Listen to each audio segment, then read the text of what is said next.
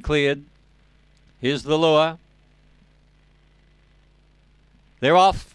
And toward the outside, coming out quickly was Wyro Bob, kicking up on the inside, Rockaway, and heading them all now was Dinah Camo. The roughie, Dinah Camo. Hello, there's one broken down here at the back. Wyro Bob is out of action. Down the back they go, and Dinah Camo, the despised outsider, leads from Rockaway. In third place then, starting the run on was Regal Looper. Back behind those runners was Daniels Tom. Well back in the field then was Rhinestone Jetta, but in the home running it's Dana, Dinah Camo.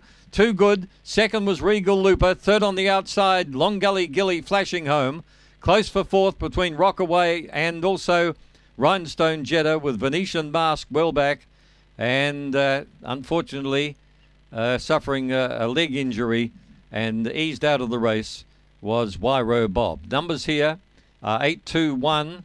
Stand by for fourth. It's number three, Rockaway.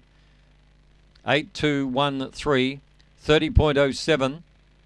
456 early, 1714, and the run home 1293.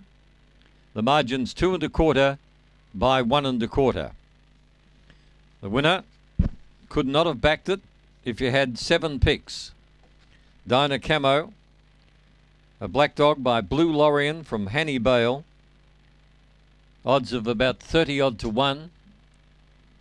And uh, in recent runs, its form was 7, 6, 7, and 7.